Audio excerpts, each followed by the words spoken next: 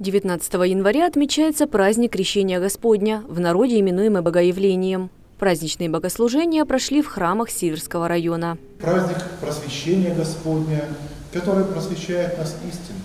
Ведь именно истинное знание Бога и понимание истинных отношений Бога и человека дает нам понять и куда же двигаться нам в нашей обычной жизни.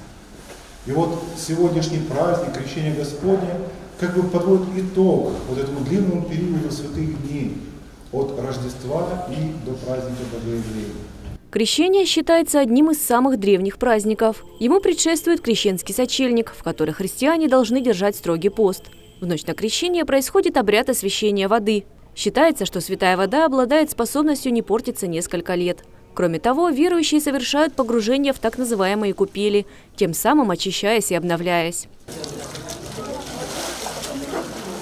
Само название праздника Крещения с греческого языка переводится как «погружение в воду». Вода символизирует собой начало жизни. Почти у всех народов древности погружение в воду или обливание водой означает очищение, как физически, так и духовно.